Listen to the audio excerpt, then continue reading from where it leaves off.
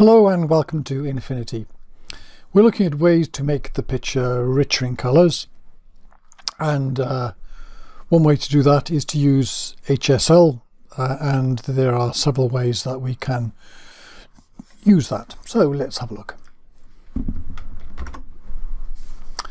So just duplicate the layer with Control J so that we can compare it with the previous one then go to adjustments and HSL and let's bring this up to have a look. And the, the simplest thing you can do is very very simply turn up saturation. Sometimes that's just enough. So even just a bit here see how that's getting it's getting richer and sometimes uh, you don't want to overdo it. Of course that's pretty obvious. But just turn it up enough that it's kind of you like it. You can also add vibrance as well, which turns up the colours which aren't so saturated, but a bit of saturation is enough to make uh, a lot of pictures just all you need. So if we reset that, the, another way of doing it is to use HSV here, because when we do this, um, we can turn up the luminosity until the whole thing goes a little bit mad. Hmm, so why would we do that? Because if we change the blend mode, if we go to, let's start with multiply, multiply gives us quite a reasonable uh, enriching. Uh, because we're now blending just the colours with the original picture. And another way is overlay. Overlay, you know, this this case is a little bit too much, so maybe multiply is the one to stick with there.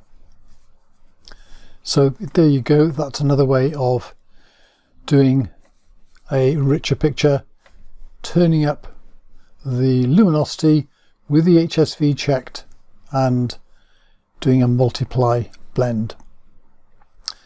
And the third way is, let's take that off the moment, um, I'll just do a reset altogether in fact, uh, which takes the blend mode off we will do a turn the saturation up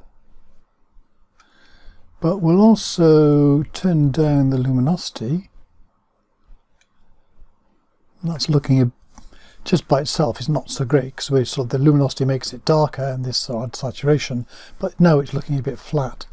But however if we put in a blend and we go to multiply now that's not so good um, although we could play with the lightness there, but no, let's try overlay.